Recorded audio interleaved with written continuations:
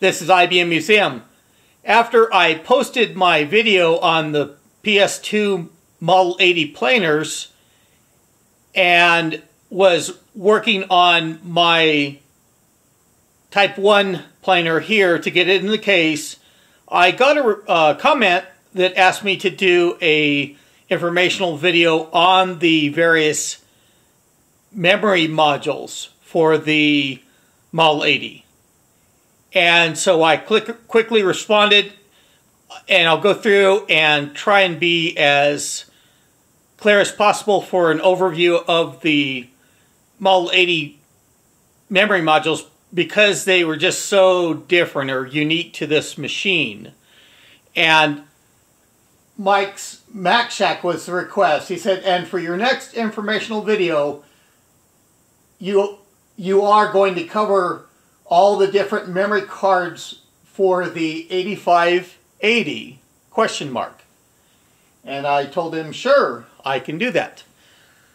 So I do have, um, and I'm actually putting Kingston, enough Kingston parts along with the CPU upgrade here into this machine.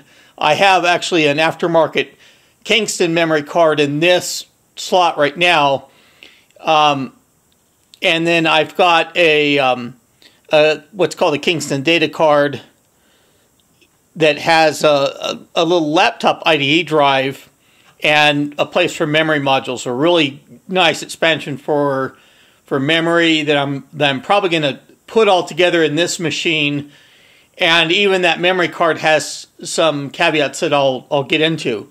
I do want to pull out the the hard drive cage here, and you can you can see from when this hard cage drive cage is in there, even full of one or two drives, as the case can be. Um, and these little spinners used are used to tighten those in place on the rails. But accessing this memory location is a challenge. Um, I mean, for swapping out cards, in particular, the Type 3, I showed those latches that can be put up at the bottom there, and it's really hard to get your fingers and, and things like that down there, especially on this back edge. And these adapter, these modules here also kind of stick out a little bit from the edges of that connection. So a lot of time you end up having to go through and pull the drives and the and the cage out just to be able to get a uh, better access to that to that location. Now this is a Type 1 planar. And as I showed in the other video, there's the Type 2 and Type 3. And the memory modules are with the kind of following things. With the with the initial Type 1 and Type 2 release of the Model 80, they did various 1 megabyte memory modules.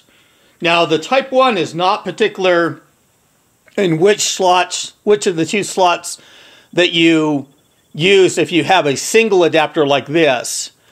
Um, I've found I put a single module in this slot and it doesn't complain. I don't think the Type 3 planar complains either, but the Type 2 planar will complain. If you have a single module, you have to have it in the closest position to the power supply.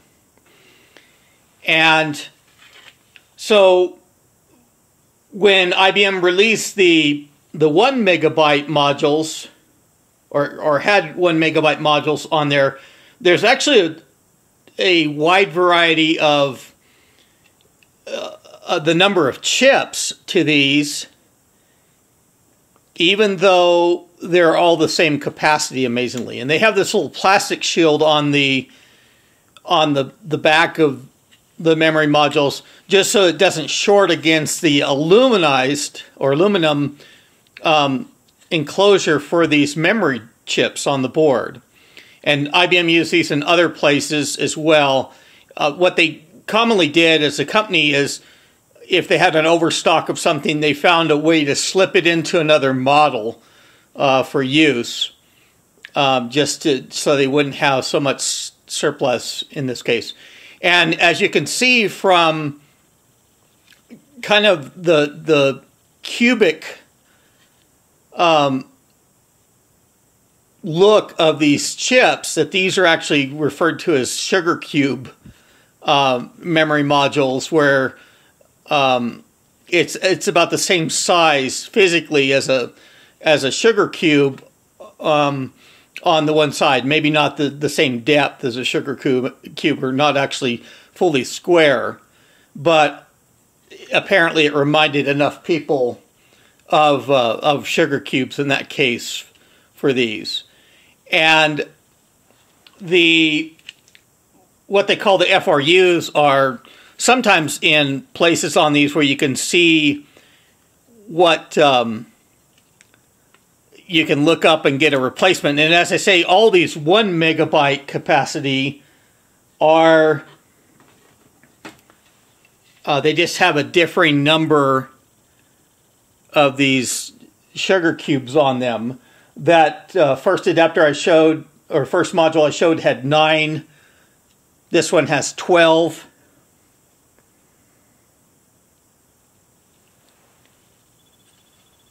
And this has 18. And these boards, these modules, are only designed for the Type 1 and Type 2 planars. If you try them on the Type 3, you'll be told that the the speed is too slow. They're like 85 nanosecond speed, and that's too slow for the Type 3 planar. Now, this one even despite having the, the sugar cubes, those, those memory chips, this is actually a 2 megabyte module here. And the same conditions apply uh, that you can only run these in a, in a type 1 or type 2 planar. Um, you can't run them in a in a type 3 planar model 80 at all. And I'll, I'll give a link to the connector that's on these as well. There's, um, I mean, there is a, a, a scheme of what the IBM called presence detector, PD, that it does for these modules. And that comes into a critical aspect as well. And that just recognize, makes the system recognize that there's a module that's actually inserted into that, that slot. And IBM did that, of course, also for the 72-pin SIMMs as a way of uh, for the system to tell those SIMMs apart, tell the capacity and speed, and only able to to run on um, when they were when they're in the the what the system wanted for memory. And even though and you even notice that this is also a 2 megabyte card and it's done with the surface mount chips. Doesn't have that plastic shield on the back. And I want to show that the, the width is just with the ears of that connector as well. And there's three rows of pins for these connectors and it's 32 pins long. And the pinout for these, for just using the data signals and everything else or understanding the modules is actually relatively easy. And that'll be in that link I provided. Now this 2 megabyte module, even though it has the kind of the newer style surface mount chips, is still too slow for the Type 3 planar. This is designed for the type 1 and type 2 planars.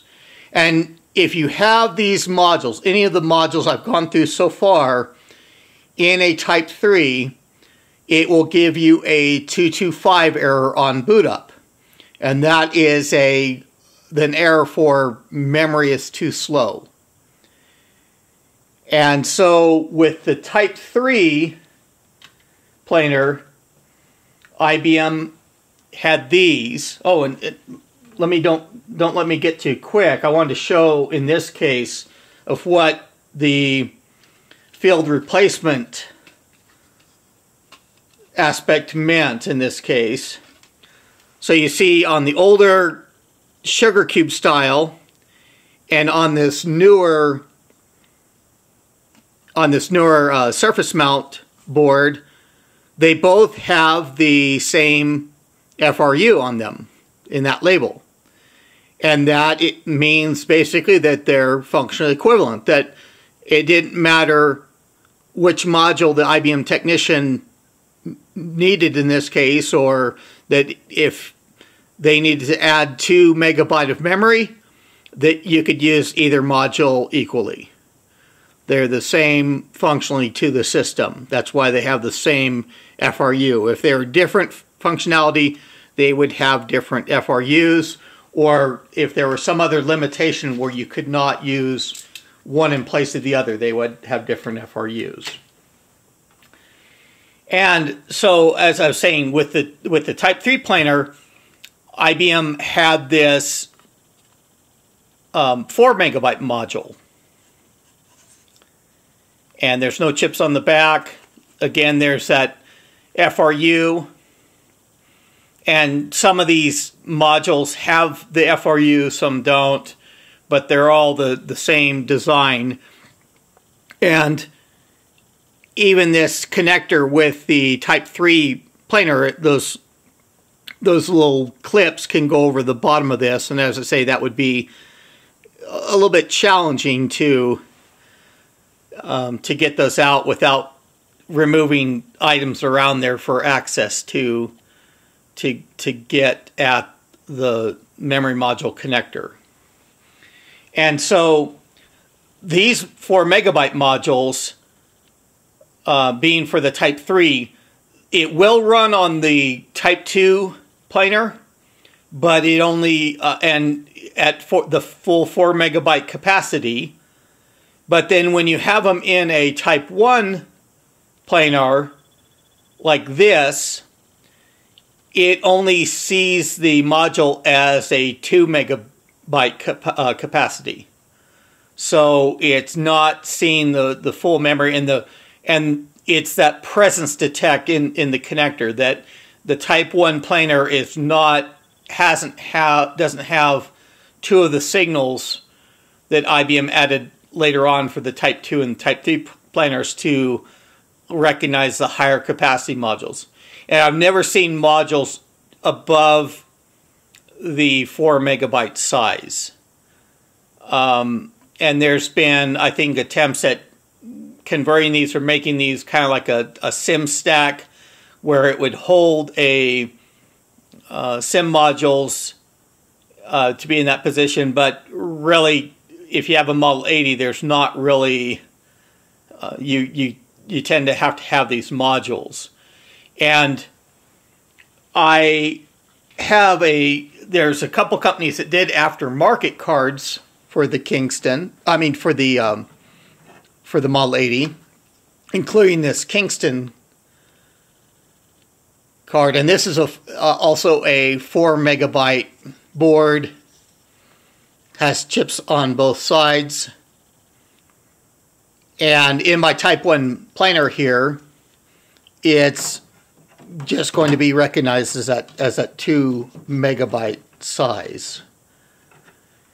And so that's an overview of the modules that actually um, go in place or you know intended for being a memory module on a Model 80. Now, I did want to show also this adapter, and this is not particular to the Model 80, although a lot of time you'll find Model 80s with them. And the interesting thing is, and this module, little module, has a the same style connector at a right angle, and they're they're kind of in the position where the connectors at the bottom here, top here, top here, and you can pull it off the adapter. There's no memory that's on the primary or the base card of the adapter. It's just based on these three modules. And you can actually, um, each module here is a capacity of two megabyte just like the, the separate 2 megabyte card, It's just on a smaller, I mean, they just have the same chips crammed in there on that smaller board. And the interesting thing is, you can actually pull on these modules and you can plug it into this connector because since it's at a right angle, the little module overhangs in this area. You could not have one in in this position just because of the uh, the other connector and would get in the way. And and if you had any or that would be your only memory card if you had in that position as well. You can have a regular memory module and you could even put in one of these modules on there. I mean there's not any use but it is interesting it has the same pinout for that connector that module is the same functionality. If this were a straight on connector it would it would also work in that you could you could have smaller module sizes for the two megabytes. And as i say each module is two megabytes so that goes through two plus two being four plus two is six megabytes on this particular adapter. And you may see adapters of these aren't populated with the full three modules, but I mean, they have to be populated with one to be useful at, at all, to have any memory, to have a reason for having that adapter in the slot in the first place. But you will find these on the, the Model 80s primarily, uh, and different sorts of, of adapters from IBM, typically with the 72 pin slots on things like your Model 70s and stuff like that. And then there's, of course, aftermarket memory adapters that they may do it, or a lot of time they do it in SAMs of either 72 pin SAMs or 30 pin SAMs. And these go in that that 32 bit slot that has the matched memory extension that are that are common on the the Model 80. So that's a, an, an overview of the memory of the of the Model 80 and of course you can have other aftermarket memory adapters the same way but those were the ones that were designed for the Model 80 in particular. And if you have any further requests for videos I can try and fit them in the schedule and come up with a way to um, to respond. Um, and maybe even give a little bit of indication. I do have a, a schedule that I, I, a planned video sequence that I go through now that I'm looking um, three or four videos out and just working through the time to do those. But I can handle requests and I can try and respond and get those videos up and posted as quickly as possible as well. So if you like this video, please click on that on that like button and please subscribe to my channel. Uh, if you have any video requests, make them and I will try and respond. This is IBM Museum. That's all I have. Thank you.